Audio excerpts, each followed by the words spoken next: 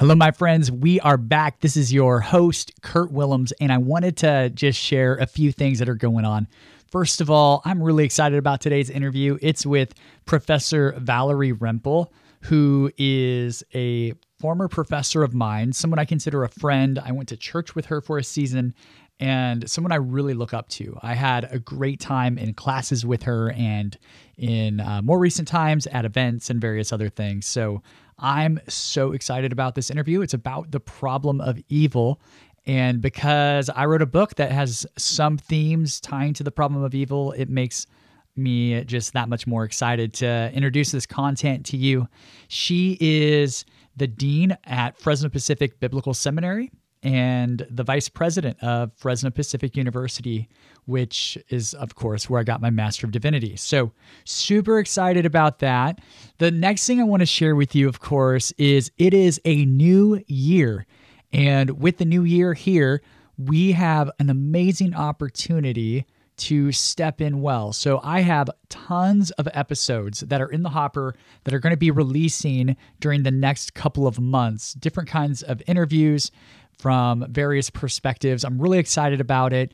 Uh, we'll have one with Dennis Edwards, Christiana Peterson on death and um, themes around death and formation. I mean, super fascinating. Sean Palmer is another one, John Mark Comer, and and several others that I'm really really excited about. Those were the ones that come to mind right away. So, with that said, a great season of podcasts ahead. I'll have my own content coming through in the middle of that as well. Last thing I want to say is my book, Echoing Hope How the Humanity of Jesus Redeems Our Pain, is coming out March 16th. So, if you have supported this podcast, if you've supported my work in writing through Theology Curator, I would be absolutely honored if you would pre order the book. You can go to echoinghope.com. That's echoinghope.com. And when you get the book, of course, there's a forward from Scot McKnight and afterward from Brian Zahnd. And a ton of people have come alongside and written some beautiful endorsements for it, which I'm just thrilled and honored. And honestly, this is my first book, so I'm just like kind of still in shock about the kindness of other Christian authors about this project. So I hope it will be helpful in your own journey, and I hope you'll check it out. With that said, let's jump into the show and into this really, really great interview with a really great human being, Dr. Professor Valerie Rempel.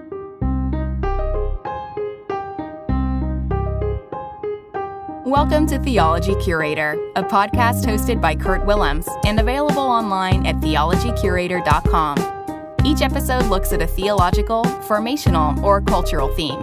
We might dig into the life and letters of a radical Jewish teacher named Paul, converse about a pressing contemporary issue, reflect on the nature of following Jesus today, or even attempt to remedy doom and gloom preaching with a good old fashioned dose of hope. This show is an invitation to build bridges between the first century world of the earliest Christ followers into the 21st century reality we now inhabit.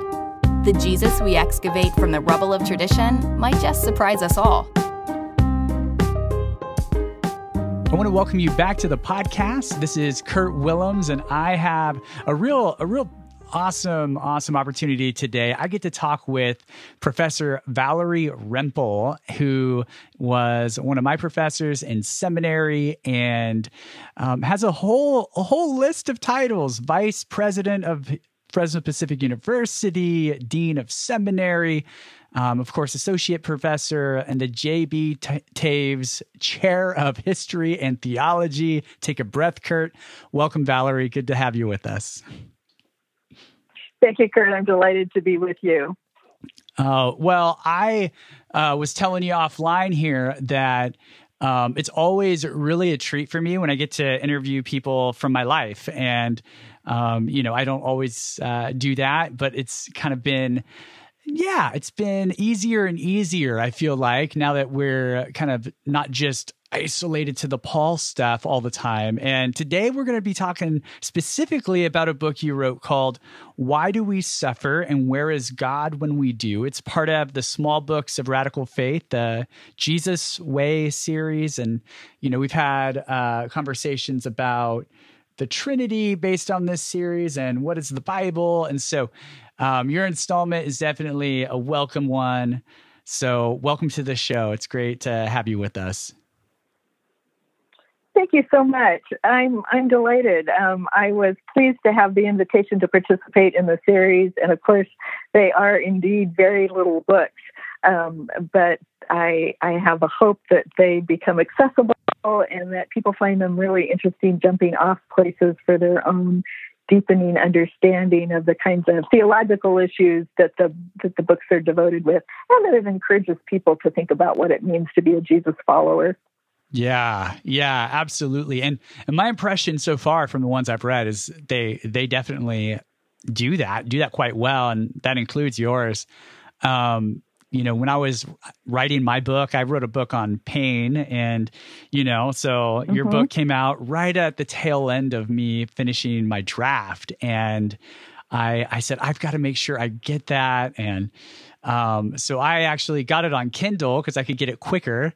And I, have, I was looking back through my Kindle quotes. I was like, wow, I marked up quite a bit of this little book. So, um, yeah, it's a it's a good little it's a good little book in that way. And you know, we'll we'll get into the book here in a moment. But for folks who don't know you and your work, um, mm-hmm. I would love to just maybe catch them up. How did how did you become a professor who devotes your time to studying Bible things. I mean, this is a very niche profession, and not very many go down that it road. It's, it's, very niche, and it's such a good niche. But, um, you know, in short, tell us about your journey towards academics and some of the passions you have for, you know, as a Christian who studies and teaches sure. in these areas.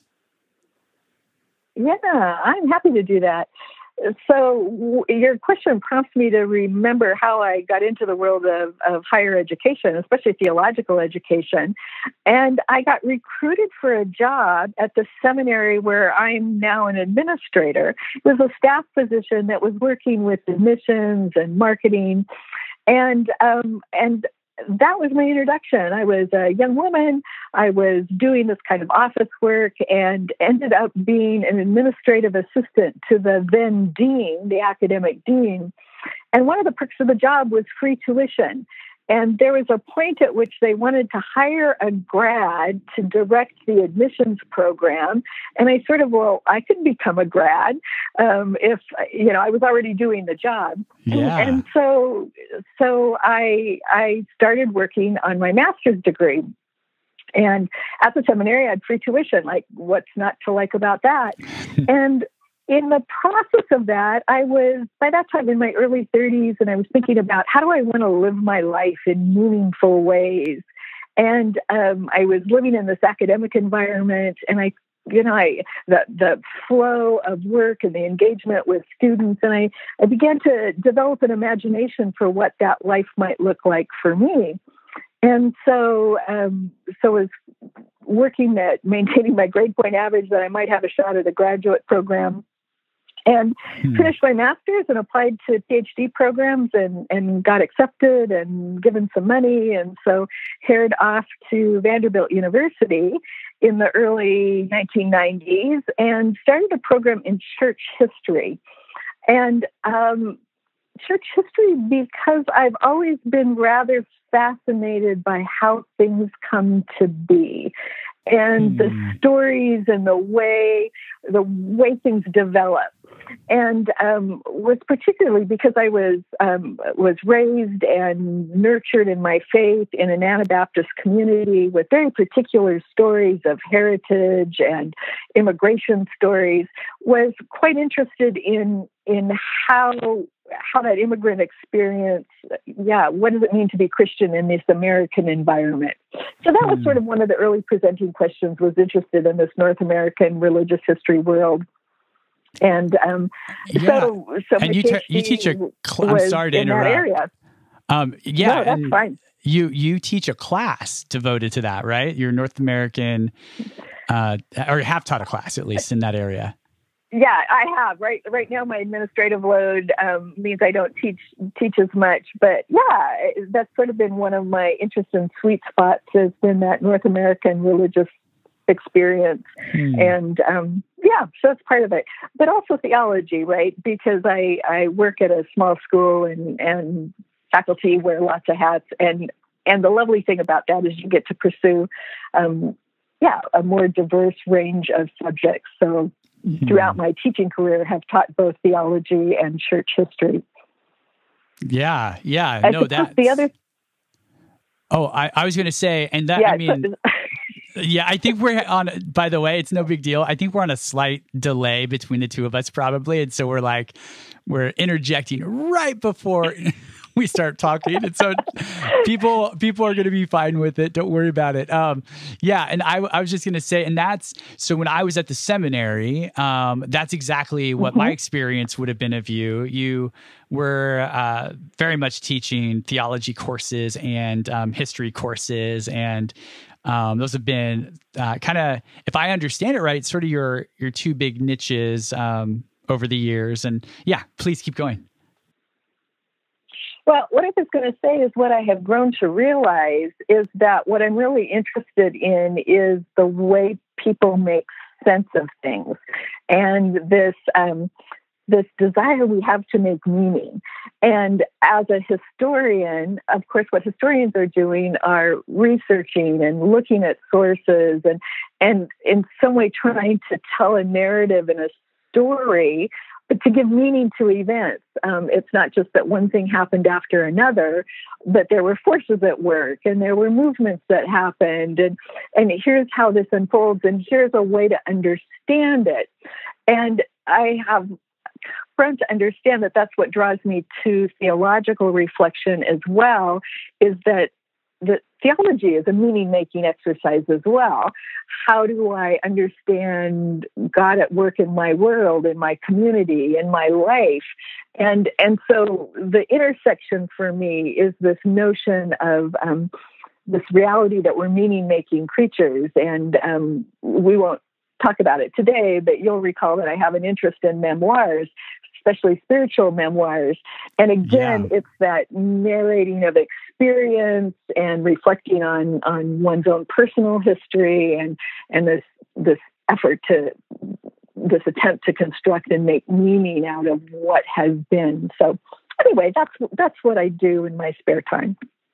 yeah, yeah, yeah. No, that's quite, I mean, quite the journey, right? To go from um, staff to administrative staff uh, to PhDs and everywhere. It's just so fascinating. And I love, I just, I've heard your story many times, but I always love hearing that journey um, because it's, um, I, I don't know what the word is, unconventional or just, you know, you didn't come out of. Yes, it is. Yeah, you didn't come out of the university system and say to yourself, I'm going to devote myself to scholarship and I'm going to do these things. You know, you, you said you, you saw yeah. opportunity and a passion arise and, and you took initiative as that happened. I mean, that's a pretty cool, a pretty cool thing. Yeah, it is. It's been, um, I've, I've, yeah, it's been a good career for me. I've enjoyed the rhythms.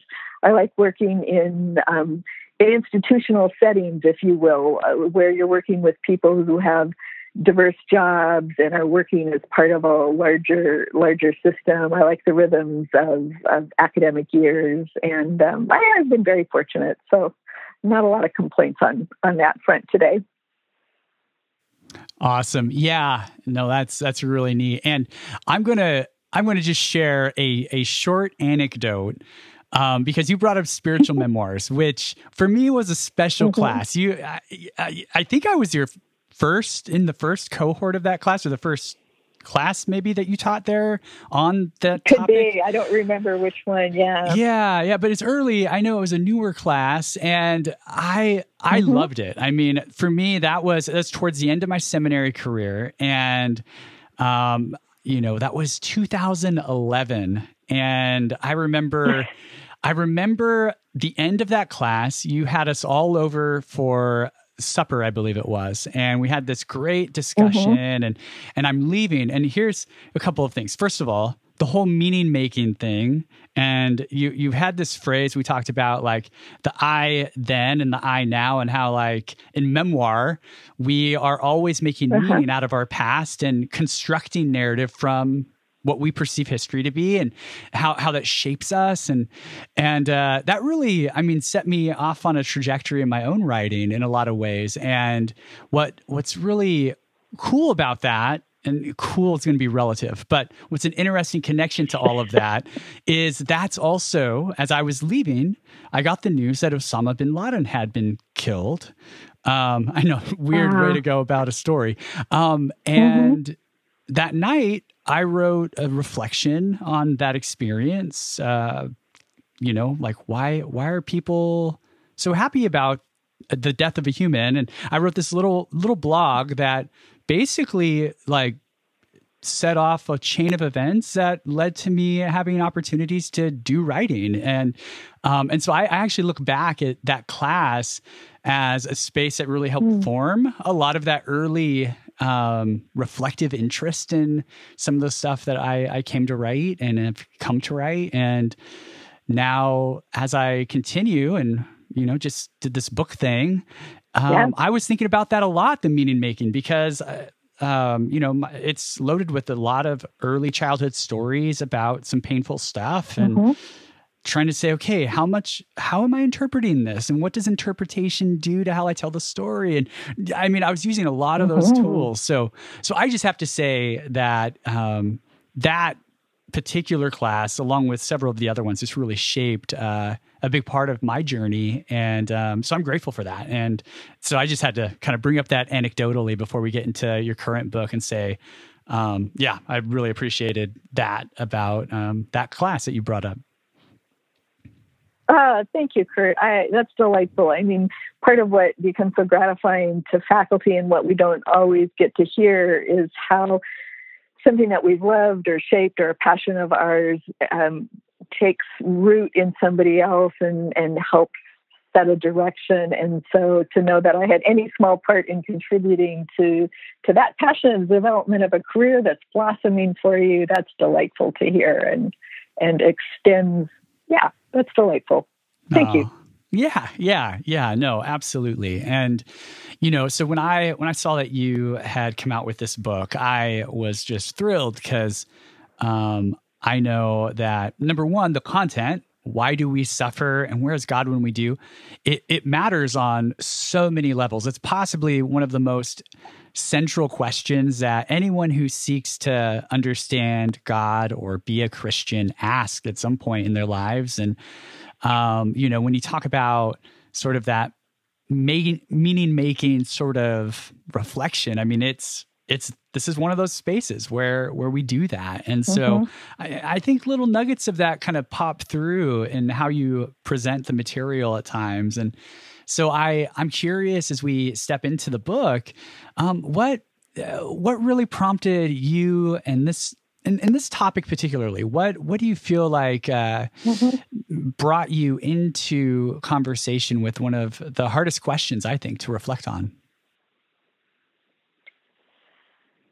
yeah i, I think there are a couple of things. Let's see if i can tease them out and, and make sense of them. Um, one is a, a sort of per, is the personal experience of of having to deal with loss in my own life. Some of it related to illness and the impact of of illness in the circles around me, um, friends and family members, and and how you make sense of that. And in when I was in graduate school, yeah, when I was in my doctoral program at Vanderbilt, I was diagnosed with cancer. And um, here you have to imagine me in a in a Vanderbilt Medical Center hospital room. Hmm. And because I, I had so many connections to communities, um, my I had just been hired at the seminary. I had a hometown church. I happened to be serving on a board, a denominational board at the time. I have relatives in Washington and relatives in California, and so I'm in this hospital room that is full of flowers. I mean, the whole hmm. the whole back wall against the windows has these flower arrangements, and I, I I look awful, right? I've been sick. I've had surgery, and people would walk into the room and they would say, "Who are you?" like I was hmm. some famous, you know, country music star or something that wow. they just weren't recognizing.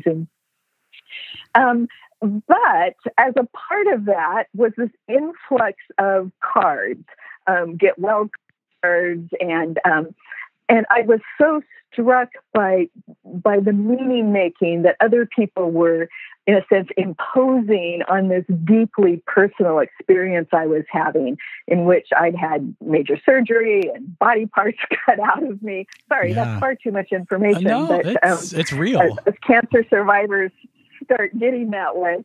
Hmm. Um, and was about to head into an extended period, you know, uh, six months of, well, not six months, three months, four months of chemotherapy.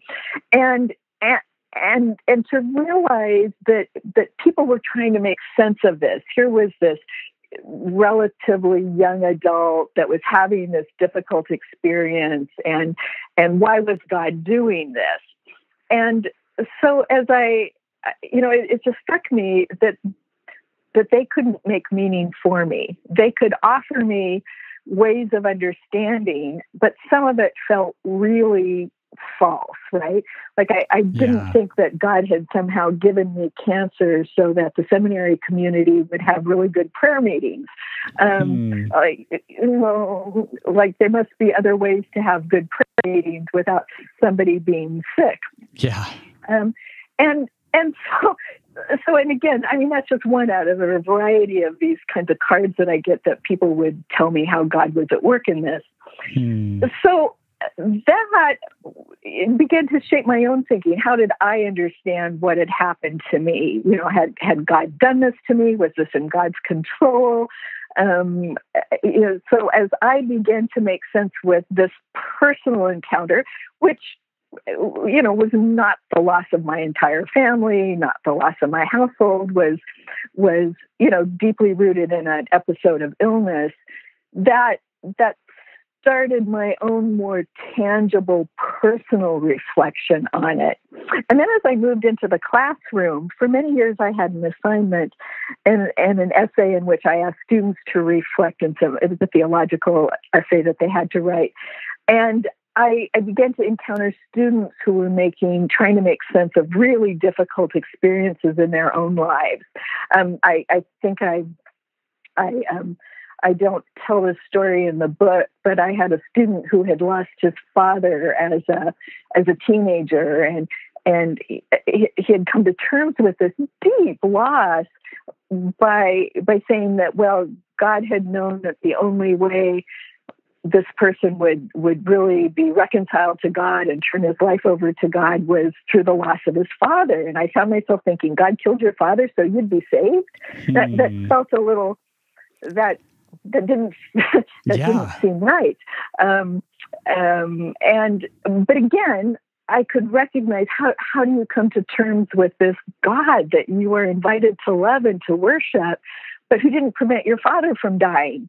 Um, and so, so this instinct to give it a good reason that that it had in some ways it had worked for this good um, that watching students wrestle with this question, I think, prompted me on this journey as well. And then finally, um, I tend to think that, especially within the evangelical community, we don't take the problem um, of evil and in connection to God seriously enough, which sounds sort of funny because we're very quick to point to sin and to identify what we think is sin or evil. But I, I find in our own conversations, we're often quick to um, dismiss evil and, and we're tempted to turn it into good. In the same way this young man mm. was turning in this, you know, this deeply personal loss of his father into something good that that we want to quickly turn what's bad into good. And I think we don't always slow down enough to grieve and to say, this is wrong. Yeah. this, this hurts. To, hmm. to, you know, I, I, maybe it's the pastor Im- impulse. And so to swing this back around to me in a Vanderbilt Medical Center hospital bed, yeah, I got you know stacks and stacks of cards back in the day when you sent get well cards. Um, and you know there are there were lovely Helen Steiner Rice poems. Um, you're too young to know those, but but poems with these these you know these cards with these poems and yeah. and lots of lots of warm greetings. And then I opened a card, and I don't remember the whole text, but it had something to do with ah, here we're in the hospital, or this has happened, and and the inside, well, this stinks. And I thought, yes, finally, somebody yeah. said this stinks. This is a dreadful thing that has happened to me. Hmm. Um, I I am sick, and somebody has has said this is awful instead of oh this is an opportunity to grow your character or you know we're being united in prayer or you know the devil's out to get women in ministry um, like mm-hmm. no here was somebody who just stopped for a moment and said this is a bad thing i'm sorry this bad thing exists and yeah. um, I, I think for us as Christians that sometimes we need to say, yeah, this is a bad thing. This this is evil. This hurts. This isn't good. Wow. Yeah. Yeah. And I'll tell you, I mean, in different ways, in different contexts, those are the kinds of responses I've heard a lot too. There, uh, we we definitely, I want to say we with some generosity because it's not everyone, but yes. I mean, right? Generically speaking, there's this impulse, it feels like, in at least American Christianity to reframe, you know, to to constantly mm-hmm. look at suffering and say, but there's purpose, but there's good here. There has to be purpose. And and yeah, I I um I have a I have a natural inclination towards that. I mean, that's part of my personality is I want to reframe things. I want to sure. see the good. And and there's there's good in seeing good as long as we don't deny the bad. And I, it seems like a big part of um, your card experience and and then your teaching experiences really bore out that folks don't all don't often step into their pain. And when they do sometimes they assign blame to God just for some you know mechanistic spiritual outcome that they think had to have been God or something. And um, that's that's really fascinating. And so so in a sense you you start wrestling with this. I mean you're wrapping up a PhD and you're in Vanderbilt Hospital and here you are in the middle of this. You you bring that experience to teaching and to the questions you're asking, and obviously all the way to this book. Um, that's a yeah, that's that's a really profound, profound uh, process that you've kind of walked through and and as you as you've done that some of the questions of course keep coming up like where does this thing called suffering come from and you know why why is there suffering at all i know that's one of the questions you you invite readers to consider and reflect on. And I'd love to hear some of the thoughts that um, kind of you turned around in, in this book as you were trying to help help folks answer that question. Uh, again, part of this is rooted in that that experience with my own encounter with a with a serious illness um, was as I began to do that work. And again, I'll talk about a luxury, right? So I had just spent several years doing my coursework. I was um, was had just passed my exams. Was beginning to think about dissertation, and and so I I had this sort of wide array of resources at my hand, and and you know this sort of testing of my own ideas. Did I think God had said this? Was I being punished? Was was yeah was there meaning in this and what I, in that moment and over the years, have grown to realize is that that that I'm deeply rooted in the Genesis story in terms of my own understanding of the biblical account. That um, that the story of the fall says something really important about the world we live in. Both the first the creation narrative in Genesis one and two that that what God is creating is good, but then this idea that sin enters the world and disrupts things. Hmm. And if we believe that, we certainly preach it, but if we believe it, then we have to admit that we are open to sin's disruption and distortions in the same way everybody else is. Um, that that just because we're we're God followers, Jesus followers, doesn't mean that the same disruptive forces may not spill over into our lives. That that bodies and genes mutate, right? Um, that that people develop genetic illnesses, or or you know that we can't control all of the all of the things outside of us that may impact us. Our neighbor's decision to not trim their tree and the tree falls on your house. I mean, you can't control that unless you're out in the middle of the night sawing down your neighbor's tree. Hmm. Um, I mean, that's a minor example. I, I hopefully don't get lost in my no. my my little examples. I really the larger ones. Um, so my point being that that I think if we take Genesis seriously, then then we have to see that notion that sin is sin abounds and it disrupts and this distorts things. Um, you bump into the New Testament, and now we're getting into your your your area, Kurt. And when we start also talking about principalities and powers, right? Hmm. Um, we're subject to those forces as well, whether they are political or economic, um, that that all things are just not in our control, and so so we suffer yeah. um, from physical ailments to to the results of economic decisions that that you know keep us from feeding our families in the way that we would want to. So so yeah, I I'm I call myself a Genesis girl. I'm not young anymore, but um, but to say yeah, I kind of take that story seriously, and it helps me understand sin as a force as a presence, if you will, as something that is disrupting God's good order. And then I always want to balance that with, but I, I want to affirm the promise of God that that God is going to reorder that chaos. Yeah. Um, and that um, that this notion of shalom isn't just an ideal, but is the end to which God is working. Yeah. Wow. That's such a good framework. And yeah, the reordering of chaos. I mean, that that has to be our hope because um, mm-hmm. 2020 has reminded folks who have it pretty good in the world that things are not predictable and things are not easy. And um, yeah, wow. What a what a helpful frame.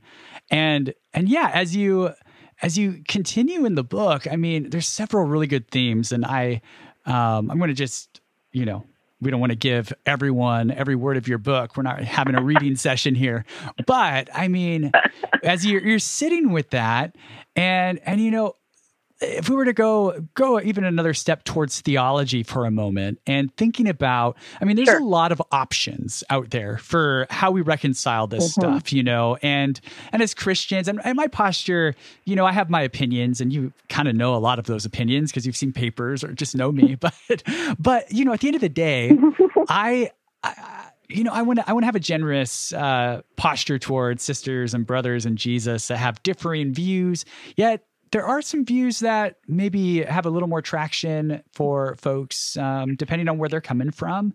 And so I'm curious, what what are what are some of the views that you talk talk about and mention in your book, and how how have those kind of helped form sort of your own thinking on the problem of evil as you've um, kind of encountered it in in your life, but also specifically in the text of the book. Sure. Um, I think one of the questions that, that are issues, topics that emerges when you start digging into this conversation or this topic of suffering and theodicy. And theodicy is just a fancy theological word for the problem of suffering. How do we understand God in relationship to evil, um, sin and evil? But um, but is is this notion of of um, God's control, and that is deeply rooted in our Christian traditions. We're not the first ones to wrestle with that. And is God's control the kind of um, predestination that everything is laid out? And within the Reformed tradition, historically, there's been much more um, weight given to to everything in God's control. And in fact, people from outside the Reformed tradition, often what we say is, well, God is in control. And, you know, in the classroom, I want to push students like, what do you mean by control? Does that mean every decision is decided or that God is working towards a larger aim? So, so that question um, has been answered in lots of ways within the Christian tradition. Um, there's a whole 17th, 18th century deistic movement in which you very much have this idea, sort of a scientific watchmaker notion that, you know, that God has has constructed this world and the universe and set the laws in place and kind of thrown it out into to time and space and and is watching it, if you will. It's just hmm. moving along and it's it's it's yeah, it's ticking, if you will. Yeah. Um, not that God is intimately involved in intervening in it, but there's a kind of a spectrum from that sort of hands off approach to a very, um, yeah, to a very intimately involved approach in which nothing happens outside of of God's desire and God's will.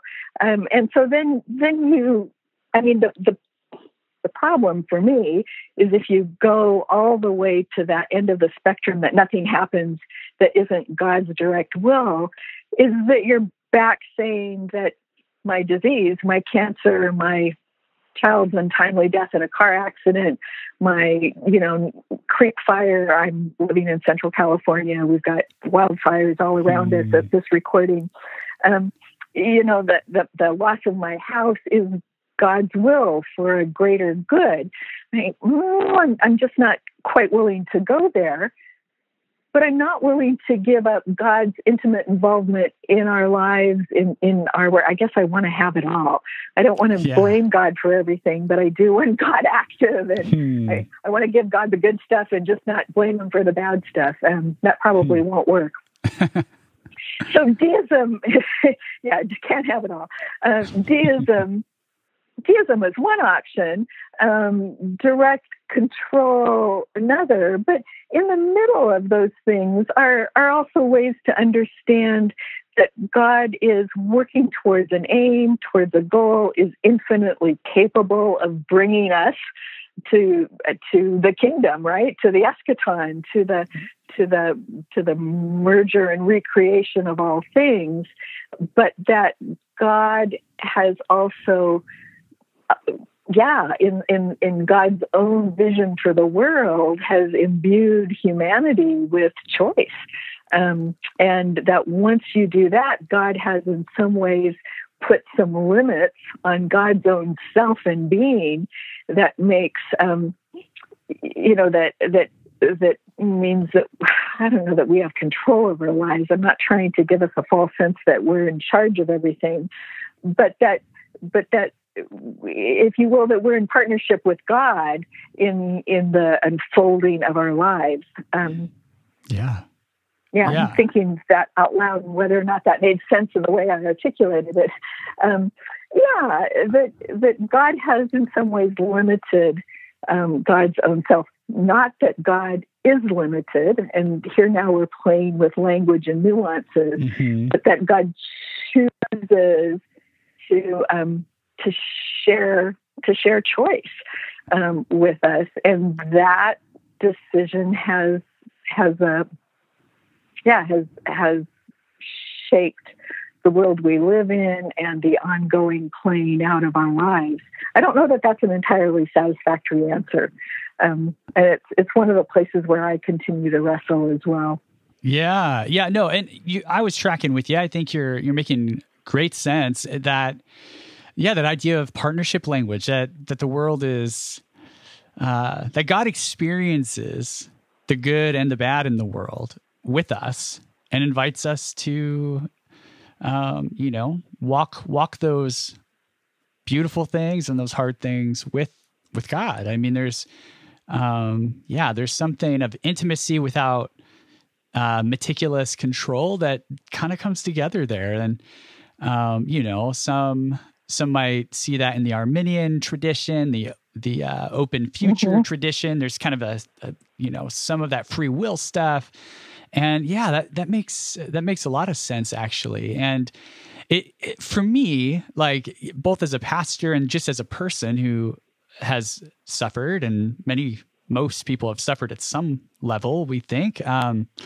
you know, eh, th- those are the spaces where um, I find deep meaning for for my pain. Not you know, not that God caused it because God needed some outcome, but that in the midst of it, there's a mm-hmm. God who cares enough to step into it with me. Um, that that's a that's a story that um, you know doesn't take away pain as much as it frames sort of how how we relate to God in the midst of it, and that, that to me seems really relevant and you you you take this on a little bit. You actually have a section on pain and prayer that i remember and I, am going to quote you here really quick. Um, you say in mm-hmm. one spot you say in prayer we remember that god suffers with us through love for creation and in the experience of jesus' suffering on the cross. So so if you think about these themes and and how prayer fits into this picture um, talk talk us through that. Is um, you know a couple of questions sure. might come to mind, of course, about the nature. How how does God suffer? I mean, there's a lot of stuff we could ask about, but specifically prayer and God's fidelity uh, with us. What does that all sort of look like? I think people wrestle with the notion of prayer in relationship to suffering, both because I, I think our instinct is to say, God, remove it. And of course we do that. And none of us wants, none of us enjoys, well, if we're if we're healthy in any way. Mm-hmm. Um, you know, we're we're not looking to suffer. We're not looking for pain, and so that sort of instinctive God heal me, God remove this barrier, God take away this thing that's causing us so much distress. Um, I, I, I think that's a natural reaction.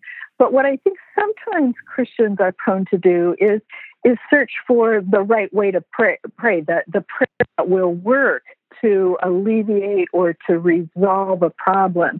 If we only have enough people praying, if we only pray in this way, if if this is the pattern that we pray, I no, we're not doing incantations. Um, right. You know, we, we, don't need to get the spell right in order to solve the problem. Um, this is prayer, not magic. Um, yeah. And and so as I have wrestled with that, then to think about what does prayer in the midst of suffering do? How does prayer sustain me as it builds a relationship with God and helps me acknowledge God's presence? How do I pray when God God just seems so distant and unresponsive to what I'm suffering, and um, and whether that's and suffering ranges, mental illness and distress, physical suffering, not only illness, but but because of food deprivation or because of um, oh, if we start thinking globally and economic oppression and political oppression and people who are imprisoned, and I mean, uh, there are all sorts of ways that people suffer. Um, so, how does prayer? Remind me that I'm in relationship with God? And how does prayer begin to, to shape my own ability to withstand suffering, to um, take the actions to relieve it? How does prayer help spur me towards relieving the suffering of others as I am able? So, so for me, that piece on prayer um, is something that I'm still wrestling with but this notion that it, it it can shape my affirmation of God's presence and can can spur me on even to activity.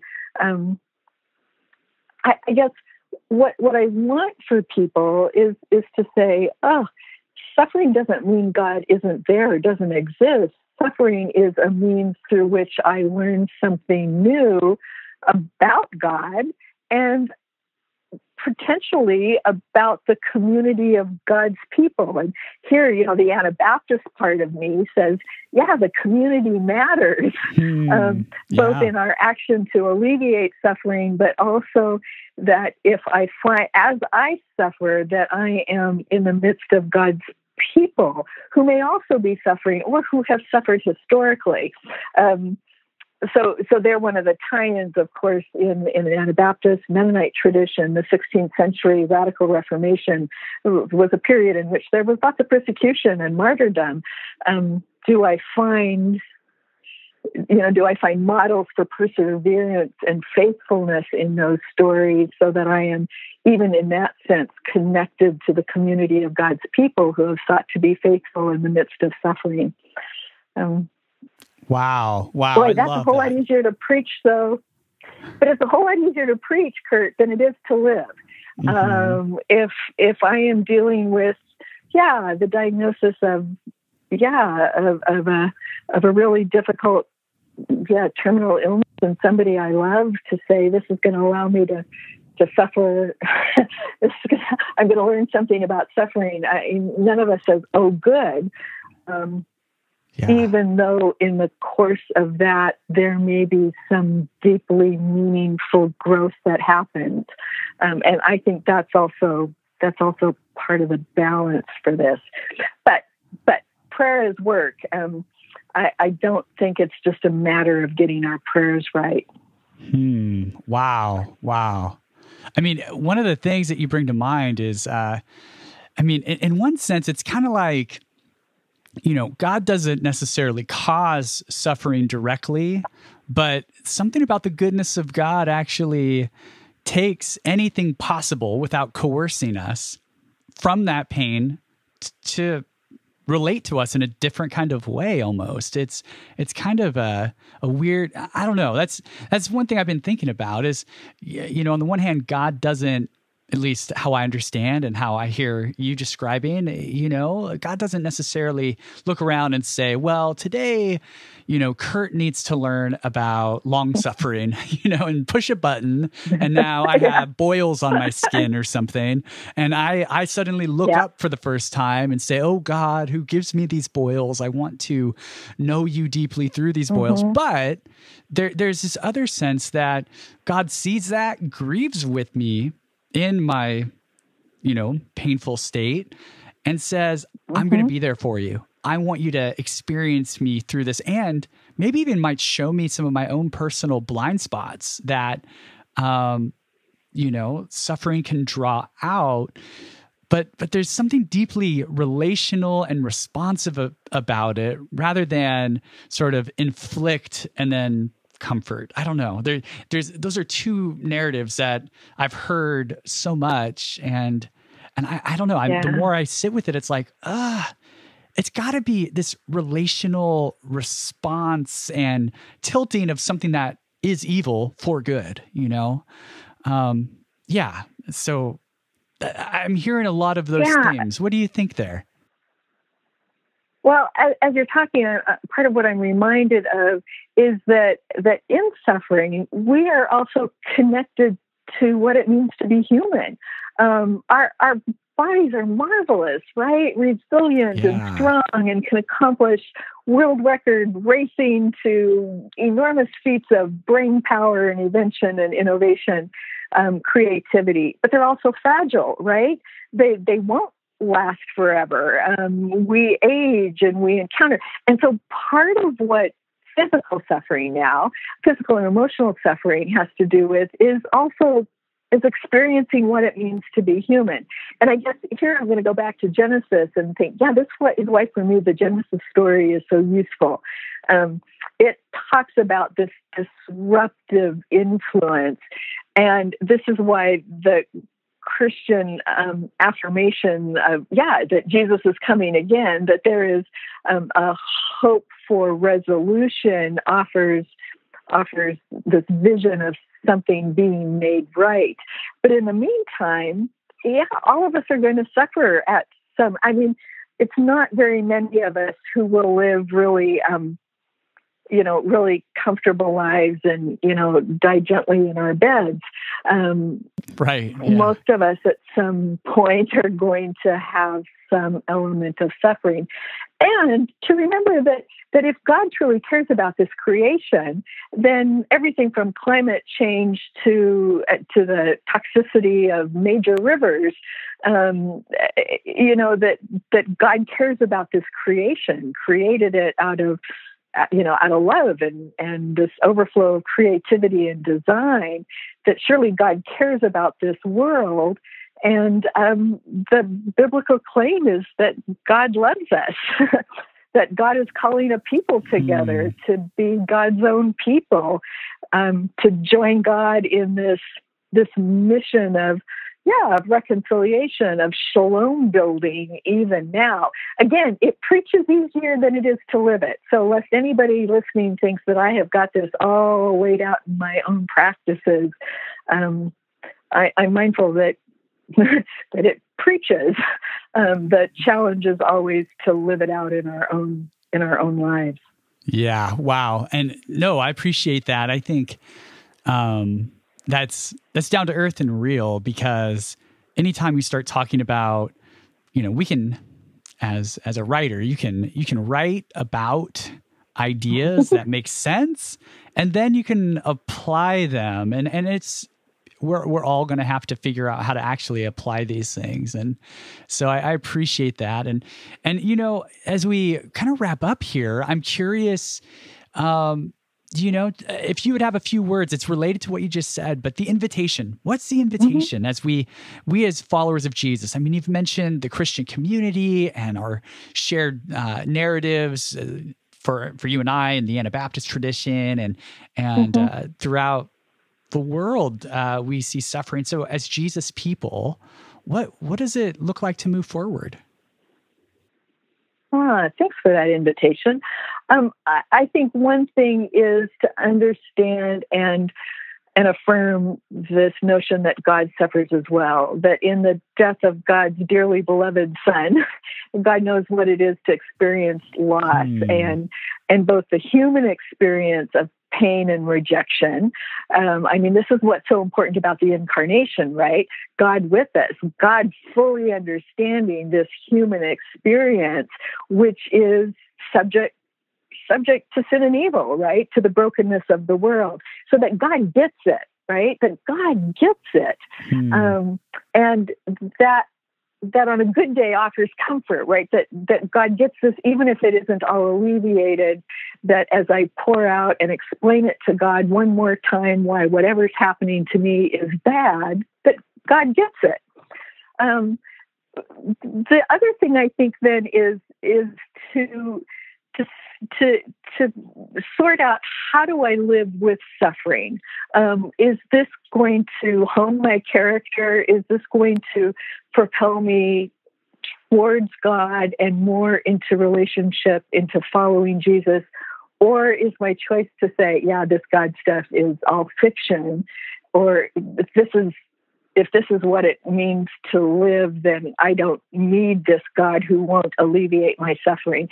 And so I think any of us who claim to be Christian, that choice of whether suffering takes me deeper into the tradition or whether it it offers me an excuse to walk away, that's a personal wrestling. And then if we stay in the tradition, if we continue to use um, the, the Christian narrative as a way to frame and understand our own experiences, then um, as I live with suffering or or am not suffering, am I attentive to the suffering around me? So in the same way, God's love for creation and for people engages God with us. Do I develop compassion for others? Does it matter to me that other people are oppressed? Does it matter to me that my neighbor is ill? Am I am I in, you know, as I am able in my purview, am I working to alleviate suffering and to stem the tide of evil in in my own context or whether I am saying, oh well, too bad, it's all going, you know, it's all going south anyway and there's nothing I can do to stop it. And I think I think Jesus followers are called to to enter into that world and to join that work of God in yeah justice and reconciliation as we're able. Yes. Wow. What a what a great picture of the invitation and uh, what a fun conversation this has been. I, I'm really just grateful for you and the the book again for folks who are listening is called Why Do We Suffer and Where is God When We Do by Valerie G. Rempel. And Valerie, as we go, um, by the way, sometimes sometimes folks who um hear me call you Valerie might think, is he so casual with her? Like, what's up? Uh, that, that's how we would talk in the classroom environment, actually, at, at our school. It was, it was never Professor Rempel or whatever. And so someone might be hearing this like, why is he so casual? She has a PhD. I know. Trust me, I know.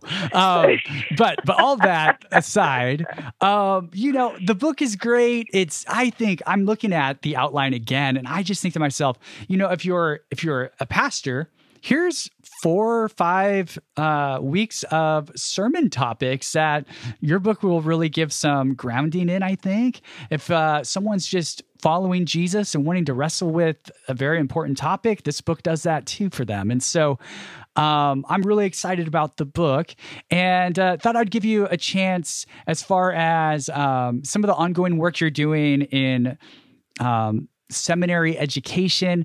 Uh, some folks may not know, but the program that you lead, or the, I mean, the seminary that you help lead, I should say, is um, thoroughly online, as everywhere is during COVID. But you actually have a very niche program that um, has uh, kind of a, a, really cool opportunity for folks who are wanting to do seminary, but you know, to move would be a big deal. Um, yeah, say anything you want about some of the opportunities for folks that might want to connect with some of the work you do in the seminary context.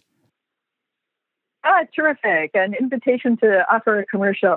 Um, we have a, an online cohort model master's degree, 48 units in ministry leadership and culture, which is particularly for people who are embedded in ministry, who always get credit for the work they are doing, but then along the way are honing their skills in um, in the Bible, in theological reflection, in a whole set of practical ministry skills that are particularly paying attention to how to to understand the cultural context in which they're embedded, um, hence ministry leadership and culture. So, how do we lead our nonprofit organizations and our pastoral assignments, um, staff assignments? And so that ministry leadership and culture degree has, um, as I think the feedback we get from students has really shaped their lives in ministry. So it develops the cohort, and that's terrific.